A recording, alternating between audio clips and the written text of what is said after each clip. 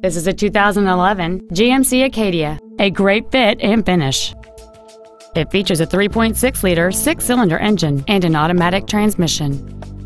Its top features include a sunroof, heated seats, a navigation system, 10 perfectly positioned speakers, a leather-wrapped steering wheel, performance tires, aluminum wheels, a low tire pressure indicator, air conditioning with automatic climate control, and an anti-theft protection system.